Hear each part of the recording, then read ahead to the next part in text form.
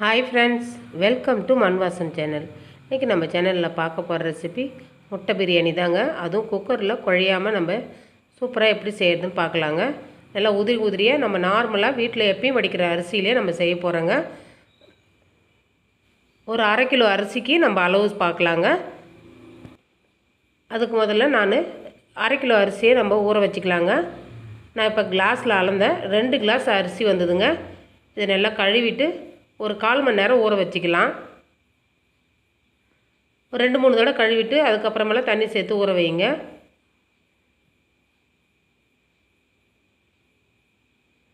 இப்போ கழுவி எடுத்துன்னு வந்தாச்சுங்க. இப்போ நான் தண்ணி சேர்த்து ஊற வச்சிடுறேன்.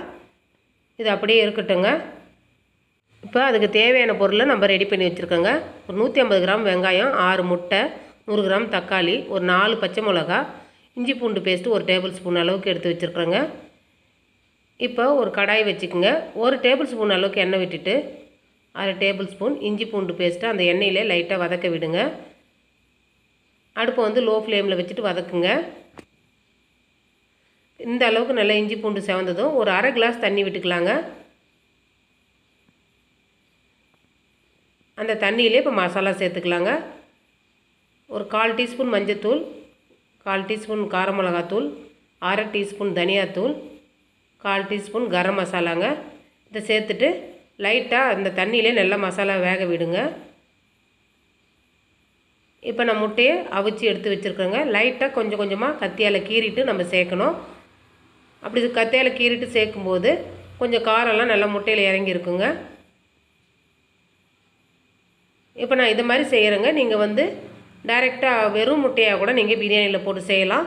இப்படி செய்யும்போது நல்லா சூப்பராக இருக்கும். லைட்டாக அந்த மசாலா கூட பரட்டி கொடுங்க முட்டையை.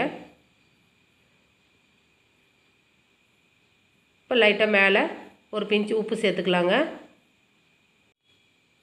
அவ்வளோதாங்க முட்டையை பரட்டி நம்ம எடுத்தாச்சு. இது அப்படியே இருக்கட்டுங்க. இப்போ திரும்பவும் கேஸ் ஆன் பண்ணிவிட்டு குக்கரில் ஒரு ஐம்பது எம்எல் எண்ணெய் விட்டுக்குங்க. எண்ணெய் காஞ்சதும் இப்போ அதுக்கு தேவையான மசாலா சேர்த்துக்கலாங்க. பிரிஞ்சி இலை ஒரு பெரிய ஏலக்காய் ஒரு துண்டு பட்டை நாலு கிராம்பு நாலு சின்ன ஏலக்காய் சேர்த்துக்கலாங்க. அது கூடவே வெட்டி வச்சுருக்கிற வெங்காயத்தை சேர்த்துக்கலாங்க.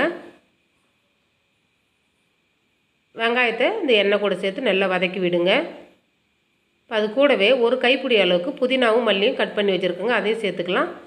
கட் பண்ணி வச்சுருக்கிற பச்சை மிளகாவும் சேர்த்துக்கலாங்க. சேர்த்துட்டு அந்த எண்ணெயிலே நல்லா வதங்க விடுங்க. இந்த மாதிரி பிரியாணிக்கு நம்ம எண்ணெயிலே அந்த புதினா தழை சேர்த்து வதக்கும் போது நல்லா வாசம் சூப்பராக இருக்கும். நல்லா வெங்காயம் வதங்கினதுக்கு அப்புறம் ஒரு டேபிள் ஸ்பூன் அளவுக்கு இஞ்சி பூண்டு பேஸ்ட்டு சேர்த்துக்கலாங்க.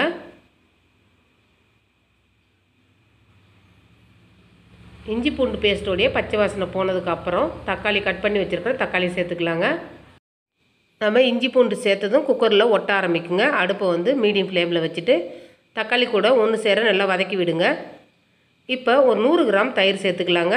நல்லா தக்காளி வதங்கினதுக்கப்புறம் தயிர் சேர்க்கணும்.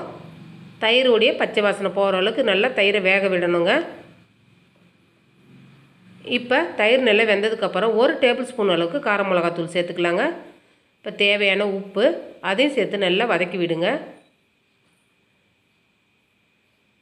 இந்த மசாலா நல்லா வேகணுங்க. அந்த பச்சை வாசனை போகிற அளவுக்கு நல்லா வதக்கி விடணும். இப்போ நான் இந்த கிளாஸில் தாங்க அரிசி எடுத்தேன். இப்போ இந்த கிளாஸ்லேயே நம்ம தண்ணி சேர்த்துக்கலாம். ரெண்டு கிளாஸ் அரிசிக்கு நான் மூன்றரை கிளாஸ் தண்ணி சேர்க்குறேங்க. அதாவது ஒன்றே முக்கால் கிளாஸ் தண்ணி சேர்க்குறேங்க. முன்னாடியே நம்ம அரிசி ஊற வச்சதுனால தண்ணி கால் கிளாஸ் தண்ணி வந்து நான் கம்மி பண்ணிக்கிறேங்க. சப்போஸ் நீங்கள் அரிசி ஊற வைக்காத செய்கிறீங்கன்னா ஒரு கிளாஸ் அரிசிக்கு ரெண்டு கிளாஸ் தண்ணி கரெக்டாக இருக்குங்க. இது நார்மலாக நம்ம வீட்டில் எப்பயும் சாதம் வடிக்கிற அரிசியில் செய்கிறதுனால நான் ஒரு கிளாஸ்க்கு ரெண்டு கிளாஸ் தண்ணி சேர்க்குறேங்க.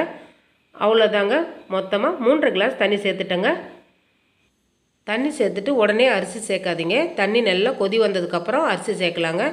குக்கர் விசில் போடாமல் அப்படியே மேலேயே சும்மா மூடி வைங்க. நல்லா தண்ணி கொதிக்குது பாருங்கள் இந்த டைமில் நம்ம அரிசி சேர்த்துக்கலாங்க.